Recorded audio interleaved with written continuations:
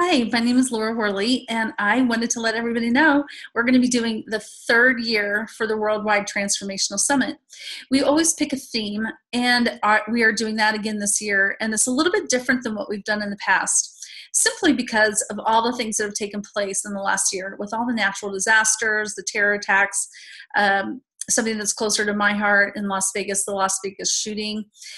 And, you know, just in general, there's just a lot of chaos and turmoil going on. But this isn't the point of the summit. The point is to bring enormous amount of hope and knowledge that you can overcome any of these things if you have the knowledge and the tools. So that's our goal and it has been for the last 3 years is to bring together experts from all over the world who are helping people address their problems and release them and overcome them. So, this is what's exciting for me because this is something that's really close to my heart and there's also a special guest that I'm going to be having on the summit, and it is my husband. And the reason he's going to be on the summit this year is we've talked about it and we decided there's such a very small, uh, I'm sure there's somebody out there doing it, so I don't want to say that there isn't, but I don't really know of anybody. My husband is going to be on the summit and giving a new perspective, and it's going to be a perspective from a man's point of view if you have a partner who has been sexually abused, what that does in the relationship, what that does to the partner, and how that just affects things in general. He's also going to share what it's like to um, not only to be the partner of this, but he wants some of the women, the women to know what it feels like from a man's perspective because I can tell you from my own perspective, because of uh, having a great deal of sexual abuse, physical abuse, emotional abuse in my past, um, it's really easy to get caught up in your own uh, feelings and pain of everything and forget the partner you're with is suffering too. And they go through quite a bit. And so, this is a perspective that um, I really feel is very important to be shared on both sides of it he has a lot of great knowledge and wisdom that he can help both the the one that has been sexually abused and the partner. If because let's just face it in most of the time men do not really talk about these kind of things or they, they don't do a lot of talking about too many things personally unless they're really lucky to have a few special friends.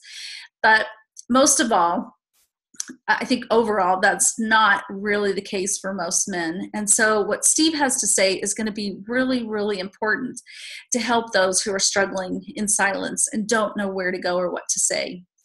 You know, a lot of my past included, well, my whole life really growing up and early adulthood, is there was so much abuse. And as a young child, I had I was surrounded by all of my family members who were abusive in one way or another. So emotionally, sexually, sexually, physically, and I was sexually abused by um, multiple people in my family.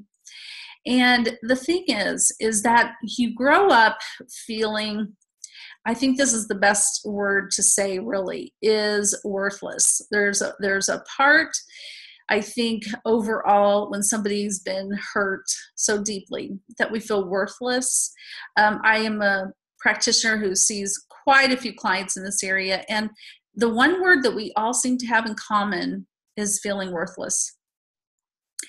And how could you not? How could people that you love treat you so horribly? And so I spent many, many years um, in this situation, and it's very, very complex in the specific situation that I went through. And there was quite a few very heavy things involved. And it, it was something very, very hard to overcome, especially in the years that I was trying to do it. And talk therapy overall was not helping me a great deal it did help me to remember the suppressed memories of everything, but I didn't know what to do with all the pain. And on occasion, I had people actually say, I don't even know how to help you. I'm so sorry. I can tell you those are the worst words that anybody wants to ever hear. when you're already in so much pain and so afraid. You don't know what to do with all these emotions. You don't know what to do with what's happened to you. And somebody says, Sorry, I don't know what to do to help you. Um, I don't want anybody to ever, ever, ever go through that again or to ever have those words spoken. And that's really, I think, the bottom line for me with the Worldwide Transformational Summit.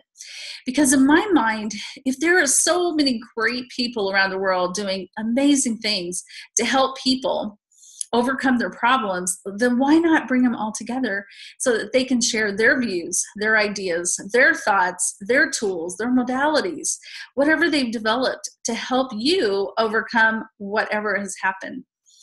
So far to date, we've had two years of the first year was 19 people, and the second year was 23. And all of these people have brought just amazing information. I've learned so much. So I invite you to attend again this year. Um, we don't have the new people up this year yet, but you can still register if you want at wwtsummit.com. Um, and you can see what we did last year. So we look forward to seeing you in July again with fantastic people who are here to support, help, and change the world to a better place. Because the bottom line, if we know how to, we will. So we'll see you then. Take care.